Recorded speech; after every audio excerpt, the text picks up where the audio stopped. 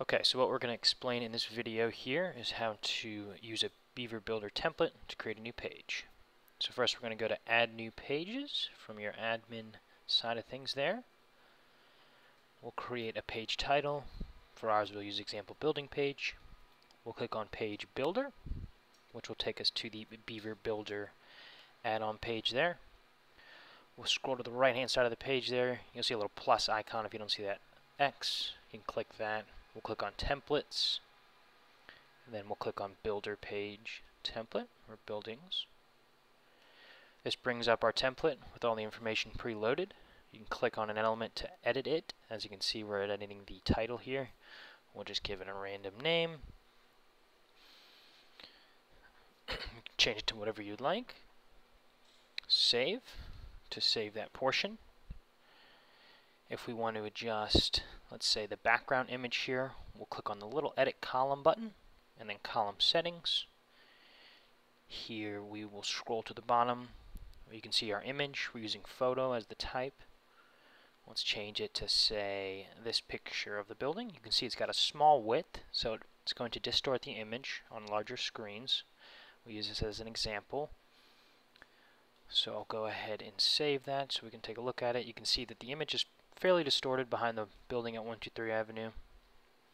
So what we want to look for is a larger image, or you can set it to fit the image, as you can see there. Uh, let's go back to fill. We'll use uh, an image with a larger width this time. Let's just choose the standard one. You can see it's got a much larger width here. So we'll assign that, click Save, and voila a nice defined picture. Now if we want to change the size of that picture at the very top of the page, we'll go to the Advanced tab. I'm going to shrink this down so we can kind of see our movements in progress. So you'll go to the padding here, and this is for top padding, right and left you can see. And as I adjusted the padding right here on the top between building at 1, 2, 3 and the top of the image shrinks or becomes larger. So we'll set it back to 50. Same as the bottom, and these are in pixels, of course. So you can see it at 0, there's nothing below, and then up to 150. So that'll set the size of the image that you want it. You can change the width per device here.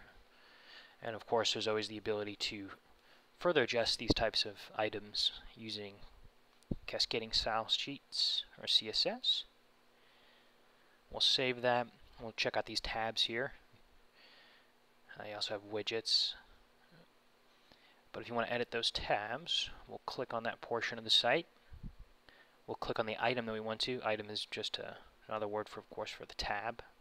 So item number one, description, two, floor plans, etc. Just brings up a standard text editor that WordPress offers. So we will click within that editor. We can add items to it. You can see I just added example item. That'll populate and then we can edit the name if we wish to. Let's just go to tab number 3. So we'll change tab number 3, give it a different name here.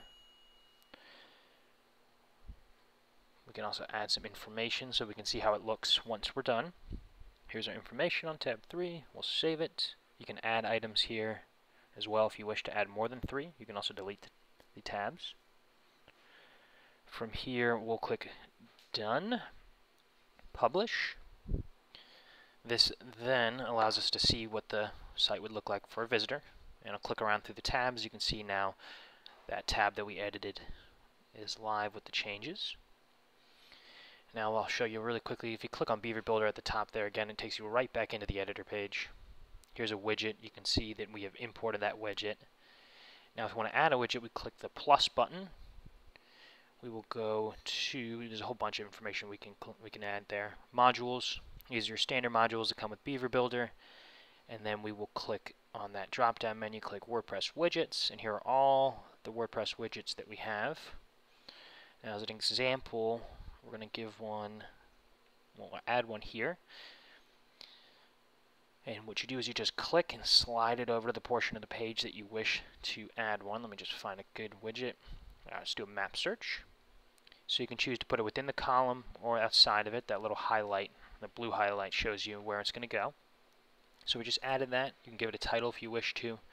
See, sometimes, uh, especially with IDX, those widgets don't like to show, so what we do is uh, we'll click Publish really quickly, and then we'll refresh the web page. And if we scroll to the bottom now, we'll see our map that was added. So that's how you add a map. That's how you edit the portions of the page that you wish to. It's pretty simple. You just click, edit, and you're on your way. If you have any questions, please let me know.